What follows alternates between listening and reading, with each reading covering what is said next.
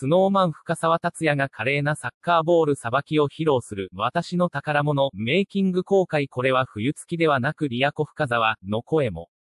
こんなちっちゃかったっけ？サッカーボール、ゴールがちっちゃすぎて、ボールを蹴ったら、ゴールが吹っ飛んじゃいそうと笑う深沢。フジテレビ系ドラマ、私の宝物、公式インスタグラムが、深沢達也、スノーマンの華麗なボールさばきが見られるメイキング動画を公開した。私の宝物は、托乱をテーマにした大人の恋愛ドラマとなっており、主人公、神崎美優を演じるのは松本若菜。深沢は美優の幼馴染、冬月亮を演じている。動画では、深沢がサッカーボールを蹴りながら登場。